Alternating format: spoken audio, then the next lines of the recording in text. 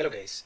Um, I'm trying to delete this folder here and uh, I'm getting this I mean error. It's saying that you you need a permission to perform this action.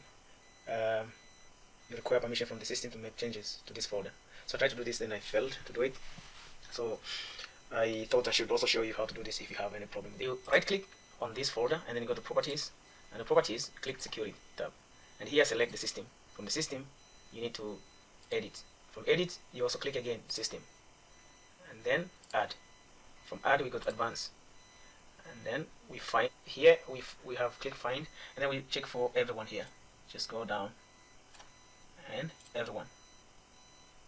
And then you just want to click OK. And then OK. And here because you have click for everyone we we have to, uh, to click full control. Yeah except for this one special permission. And then OK.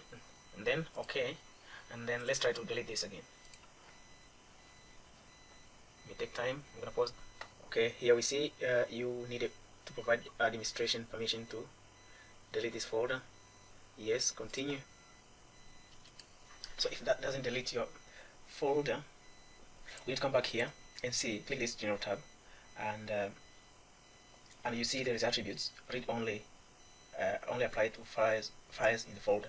So you can uncheck this if it's checked uncheck and then and then you apply. And set read uh, here is giving you the alert that confirm attribute changes you have chosen to make the following attribute changes and set read only hide. Do you want to apply these changes to this folder only or do you want to apply it to all the subfolder and files as well?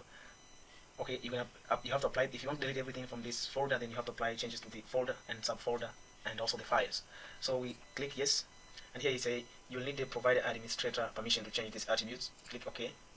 And then we get the error again. Error occurred while apply, applying for this. Delete. Uh, access denied. That means there is this is a special folder and it's it's a windows and then we have servicing. So i'm going to error occurred while applying this so i'm going to uh, ignore all. See? And then let's apply this attribute to this.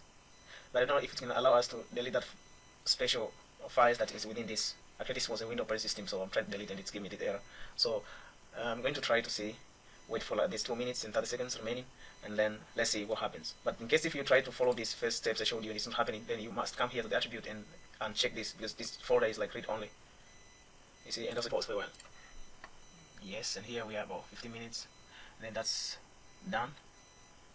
And then you can check this. And then we apply